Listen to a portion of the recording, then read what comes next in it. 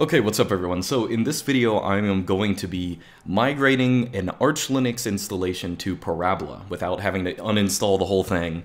Um, so if you don't know what I'm talking about, so Arch Linux, you, you probably know what it is. It's the Linux distribution I uh, have been using for a while, and of course a lot of my subscribers use it, but my favorite Linux distribution is actually Parabola. Um, don't have huge strong uh, uh, feelings about it, but it's probably my favorite all things considered. Um, and what it is is just a version of Arch Linux with only free software.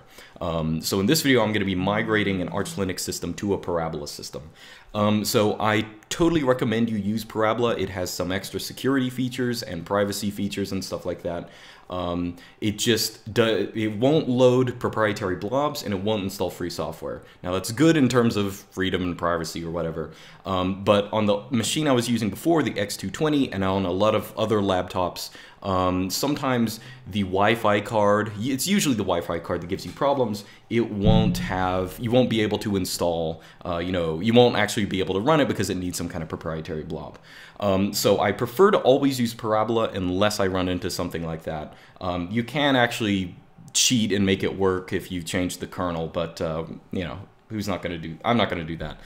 Um, so in this video, uh, the reason I'm doing this is because, of course, I was using my X220 as my main machine. Now I'm using my X200, and I have it Libre booted with a Atheros uh, Wi-Fi card. So now I can have all free software, no problem, which is what I used to do a couple months ago. So anyway, so in this video, we're going to run through this. Uh, so here, of course, Parabola, it is one of the few FSF approved 100% uh, free distributions, just so you know.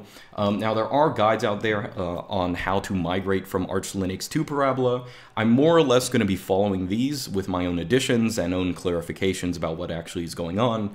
Um, but uh, aside from that, it, it, should be pretty simple. So I'm going to go ahead and uh, get this thing started. So let's open up a terminal. So the first thing we're going to want to do is, so we're going to be installing another distribution on our machine. Where we don't have we don't need a live CD or anything like that. We can do it within the machine. So the first thing we're going to want to do is actually make it so we can install foreign packages with Pacman. Because normally um, Pacman requires oh, actually I'm going to become root uh, Pacman requires uh, a package to be signed with some kind of Arch Linux approved signature. So the first thing we got to do is I'm going to open up the Pacman conf and what you want to do is you want to find this line here, the remote file sig level.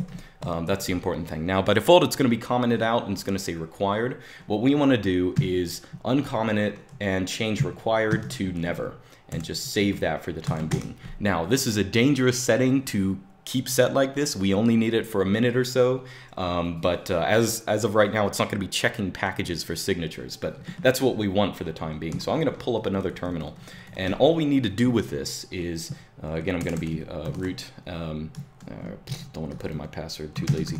Um, so I'm going to be root, and what you're going to want to run is pacman, and then we're going to install a particular package on the internet, and it is at https colon slash slash parabola dot nu uh, oops. Parabola dot nu slash packages slash libre slash any. And that the package name is going to be parabola keyring. Parabola hyphen keyring did I spell that right? It looks like it. And we're going to go to downloads. Downloads. Or is it download? I wrote it down. Yes download. Um, now, when you run that, what this is going just doing is installing uh, the Parabola keyring package from the internet directly. So now it is going to add all of the uh, developer keys from all the people who work on Parabola, you know, to your keyring so they can actually get approved. Um, now, the next thing we're going to do, I'm going to move this up. Just go back to the same command you had before, and instead of Parabola keyring, you want to put in uh, pacman Pacman mirror list. So this is going to download the like all the different parabola or mirrors out there where you can download files from. Because of course, as of right now, if you have an Arch Linux system, it's just using the uh, you know Arch, uh, excuse me, yeah, yeah, the Arch mirrors or whatever. Okay, so now that that's done, you should go back to your Etsy dot, dot or excuse me, Etsy pacman.conf and change this back to required or comment it out or something like that. I'm pretty sure if you just comment it out, the default is required, but uh, you know, anyway. Um, so just save that and that's all you need to change with this file, uh, or well, actually, no, it's not all you need to change with this file, but that's all you need to do with the file signature. Um, so the next thing we're going to want to do is go down to where it says uh, it lists out all the different repositories. So we have uh, core, extra, community. Um, now we're going to want to add two things. Well, we're going to want to add at least one thing, possibly two. One is you want to put in a Libre category because um, Parabola uses Libre to keep most of its packages in uh, or the Libre ones, of course. Uh, and you're going to want to just copy what you have down here in these lines up here. Um, and this is going to allow Pacman to actually look at, at, all of you know these uh, files or whatever. Um, in addition to that, you probably want to add um, instead of Libre, put in uh, what is it? Uh, non-Prism. Uh, now this isn't necessary, but Parabola has this very nice repository of uh, basically hardened software for privacy reasons, um, and it has some additional security features. And you know, it'll have better versions, more private versions of certain like things like iStuff or something like that. And I think it's just nice to have. So I always uh, add this as well. So once you're done with that, you can go ahead and save and quit. Um, so now what we're going to do is clear the Pacman uh, cache. So how you do that is, is, of course Pacman SCC. So this is going to get rid of all the Arch Linux packages that are just you know in your cache. So say yes to both of these, um, and that's that. Now you have gotten rid of all those packages. The Okay, actually, I realized I just forgot something. Um, so one thing you're going to want to do is when we install that mirror list, uh, you have, oh, where is it? So in etsy slash pacman.d, uh, you are going to have two files, two mirrorlist files, one just plain mirrorlist and one mirrorlist.pacnew. So mirrorlist is the Arch Linux mirrorlist that we already had, and when you install that new mirrorlist, it put it right here. So we're just going to want to replace the old mirrorlist with the new one. Uh, so I, just for safety, I guess, I'm going to uh, take the first mirrorlist and I'm going to back it up. You know, we'll say pacman.d mirrorlist.arch or something like that. Um, and then I'm going to uh, copy, uh, let's see, I'm going to copy the pacnew uh, mirror list directly to where arches or arch and parabola are going to be looking for your mirror list, which is just in the mirror list file. Um, so that's all you have to do there. Now, once you've done that, we can actually update our packages and download and well, let's just do it. So this is going to be your first update on parabola, so to speak uh, although you haven't really installed anything on it. Uh, but it's going to start syncing. You're going to see it's loading the Libre repository, it's loading the core repository, and everything else. It should should load uh, non-Prism as well if you put that. So I'm going to wait for a second. Now it's probably going to be installing a lot of stuff after this, but I want to get to the confirm, uh, and then I'll probably cut off all the the intensive stuff. But this is going to be the period where it's going to actually be installed. Oh, well, that's it. Okay. Oh yeah, it's not going to upgrade. I didn't tell it to upgrade. So that was just syncing the repositories. Now we actually have to upgrade. I was talking like we were going to upgrade packages. Um, so now what you want to do is, so what you can do is just pacman SUU. This is going to upgrade packages. The two U's mean that it's also going to downgrade packages if their like edition number is uh, you know, older uh, on the parabola mirrors, just in case, because sometimes it is. Um, so I'm also going to want to put in a couple other things. Uh, you want to say pacman explicitly because uh, you want that pacman itself to be totally refreshed. And there are two other things you should add. One is the package Your Freedom. So Your Freedom is a nice little feature that Parabola has. It is a blacklist program. How it works is it's a program that doesn't do anything, but it has conflicts built into it with every known non-free software. So when you install your Freedom, it basically, whenever you try and install a non-free program, it says, hello, this is not a free program, just telling you that. Um, this, this causes a conflict with it. So it's a nice way of making sure you don't have any non-free programs on your computer. Um, and if you did add the non-Prism uh, repository, you can also install the package Your Privacy. And this does the same thing. So your privacy, it doesn't target non-free software. It targets free software that might integrate with non-free, you know, cloud services or something like that. Like if it sends metadata to Amazon or Google or something like that, your privacy will say, "Hey, watch out! This program uh, does some things that you might not like, not like, or something like that." So when I when we run that, um, what it's going to do is it's going to start asking you uh, some replacements. So I have installed Firefox. I don't actually use Firefox, but it's uh, I installed it just for this. um, so it's going to ask me, do I want to replace Firefox with IceCat? So there are a couple things in Parabola that are rebranded or renamed, that they're, they might be forks. So IceCat is a fork of Firefox that has a whole lot other, you know, privacy features and stuff like that. So just say yes to all of these. Uh, I don't know why it's asking both uh, IceCat and IceWeasel, but whatever. Um, so, uh, in, importantly, it's definitely going to ask you if you want to replace Linux with the Linux Libre kernel. Uh, so pretty much say yes to everything. Um, yes, yes, yes, yes. You'll notice that, uh, so there are a couple things here, like a bunch of my LaTeX packages, the Parabola repositories. The, don't worry about this, they look like errors, but they're no problem. The Parabola repositories, it looks like right now, have older versions of these. That's totally fine, don't sweat it. Um, and it also says here uh, it can't find a package required for the upgrade for uh, uh, Unrar. So I'm just going to say yes to this. I'll worry about this later. But it looks like it can't find an equivalent of this, even though it has non-free software in it. So most of the stuff you're going to be dealing with, it's going to be totally fine since they're just equivalents in the Parabola repository. But in this case, when it, with Unrar, I'm going to gonna have to double check all this. Uh, so I'm going to say yes to that. Yes, yes, yes. Okay, so here's the big install. It's nearly this. So this, what this install is going to do is it's going to replace everything in your Arch Linux system with the Parabola equivalent. So I'm going to run this. I'm going to cut the video off for the time being, uh, and I'll see you when this thing gets uh, done.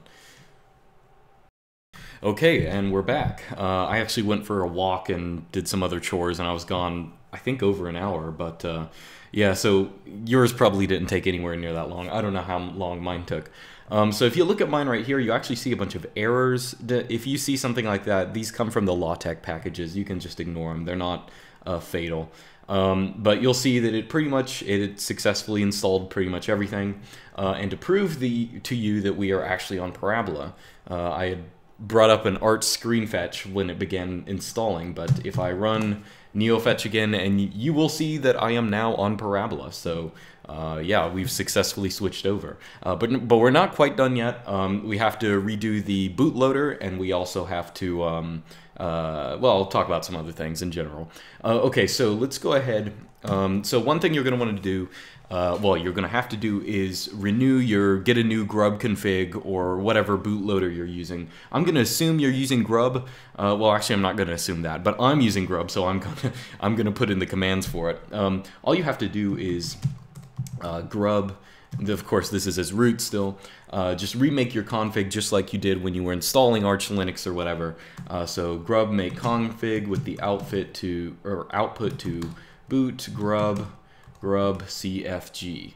Um, and that's all you're gonna have to do. I, did it add another file here? Okay, I guess it saved some backup or something like that. Um, but anyway, just output it to grub.cfg, and that should run, and that should be it. Um, so at this point, you should be able to boot up and come back. Uh, actually, I think that's what I'm going to do. I'm going to reboot my computer and see if it works. I hope it did. It would be awkward if I...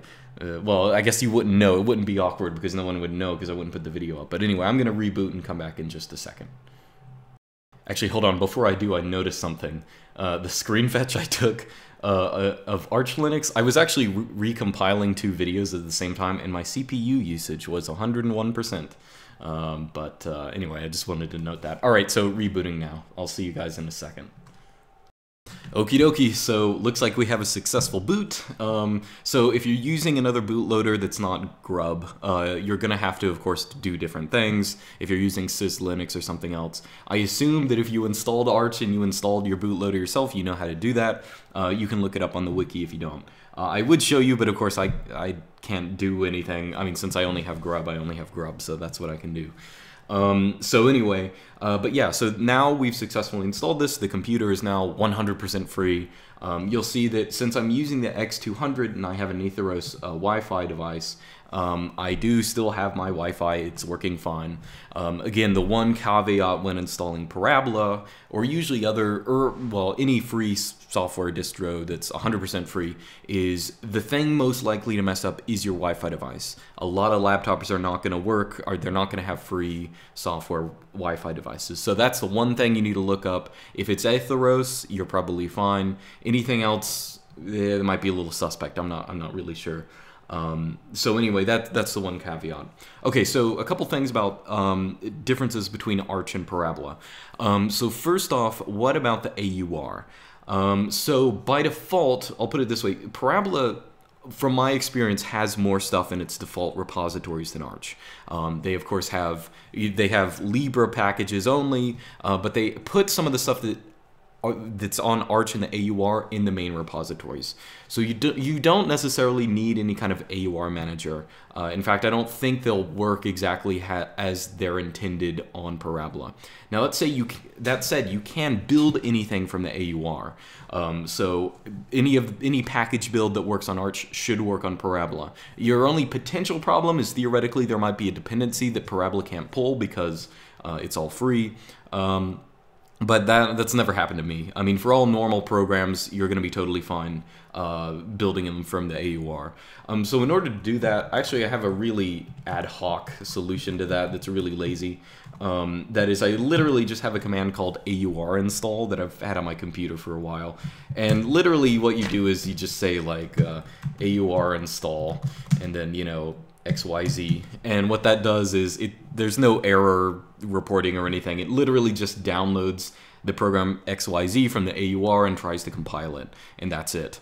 Um, so that's actually what I do when I really need something from the AUR, but I don't think, there are probably a couple programs I'm running on my machine now that are, like I would need the AUR for, but again, Parabola's repos have a lot of stuff that Arch doesn't, or at least in my experience, there are some things, like they, they I think they put like i3 gaps in the main repos before Arch did.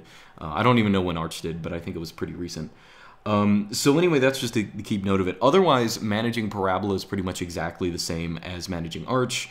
Um, again, the, the biggest, well, I actually, not really again, because I haven't said this before, but if you're an Arch user, you probably know that what you should, in addition to updating regularly, um, you should always check the RSS feed for Arch Linux. And the same applies for Parabola. Um, you should be checking uh, the Parabola RSS feed in your RSS feed reader. I mean, there's not going to be anything daily, but every couple of months you might need to do something manually. But that applies to Arch Linux just as well. So otherwise, it's going to be pretty much exactly the same. Same experience of Arch, just with um, you know software that you know is all free and more privacy respecting and stuff like that.